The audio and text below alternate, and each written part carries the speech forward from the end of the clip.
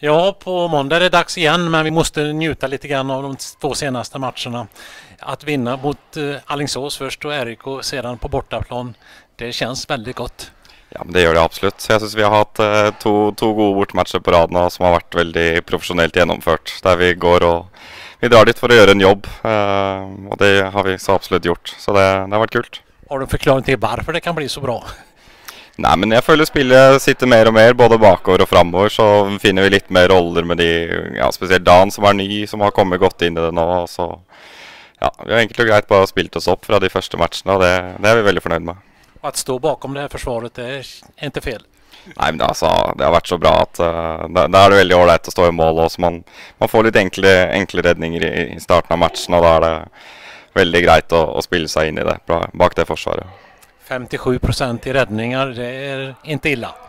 Nei, men det, det er bra, det, det kommer ikke til å skje hver gang. Men jeg håper jo at jeg kan stabilisere meg et sted imellom, istedenfor at man har de veldig dårlige matchene. Og ja, selvfølgelig har man lyst på de veldig gode, men at man kan stabilisere seg et sted midt imellom, hadde vært veldig bra. Du knäckte deras eh, duktiga kantspelare i RIK på ett tidigt skede.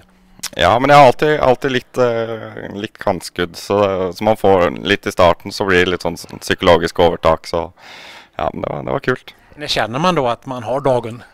Nei, men man kjente det ganske tidlig, og så samtidig for meg så er det lenge siden jeg har kjent ordentlig på den, den følelsen av av å ha det overtaket. Så, så for min del så var det, det var veldig kult å stå bak der nå mot RIK sist.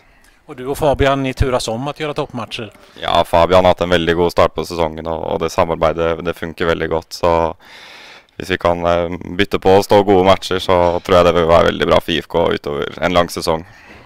Och nu gäller det som sagt var Ystad och de har ju några duktiga skyttar i Kim Andersson och en duktig eh, Hallbäck som gör mycket mål. Hur förbereder man sig?